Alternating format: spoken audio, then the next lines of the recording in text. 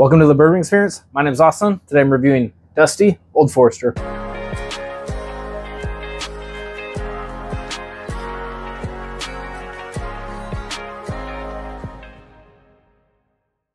As you can see, I'm not at my normal location.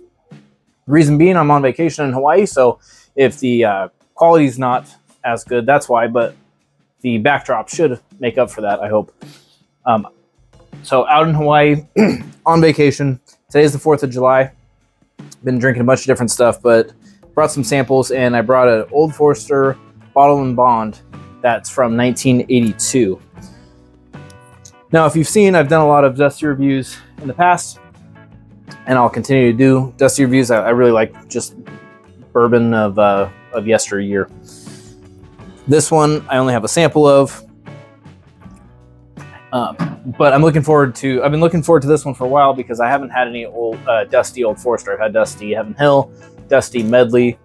If you saw my video about the Old Ezra 15 year, that's actually Medley distillate. It's not Heaven Hill, which also makes sense because I, I said it had the strawberry jam thing that Heaven Hill doesn't normally have, so that would make sense. Uh, but back to this one. So I've, I've had Heaven Hill, Medley, Turkey, um, probably some like 90s. Oh, definitely some 90s Buffalo Trace stuff, but no, no old Old Forester stuff. So excited to get into that and see if the flavors of today are similar to the ones um, from the past.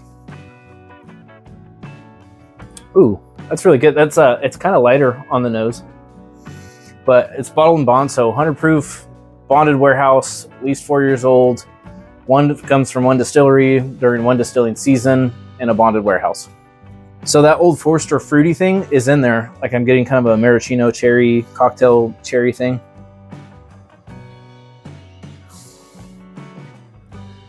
There is, it's not like a dusty funk like I get on Turkey and Heavy Heaven Hill, but there is like a dusty thing. It just, it's it smells thicker than current 100 proof Old Forester stuff.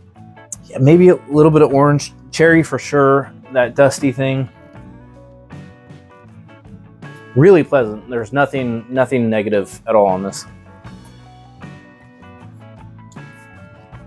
Oh, that's incredible. Okay, so it has this mouth coating cherry cocktail or cocktail cherry syrup thing. It just coats the mouth. It has the dusty thing. It does have that cherry. The spice level is really nice though. There's a nice spice that carries all the way through.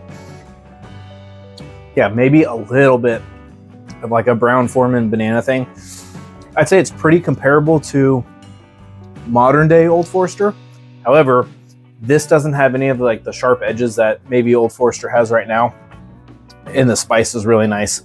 I'd say it it's thicker. It has like this thickness to it. The spice level is nice.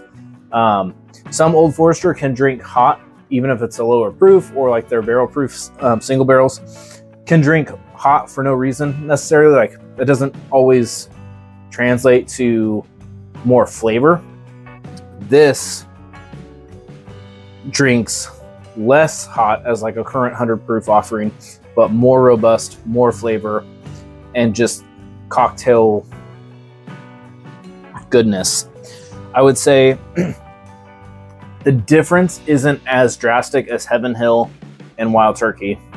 If you gave me this, this and said, oh, this is um, Old Forester, I would say, wow, that's a really good Old Forester product. Um, maybe the banana is a little bit less on this one than, than current offerings, but yeah, and then like your caramel, and there, actually the more I know is that now, there is like this funky oak that's starting to come in which is what you always look for in Dusties.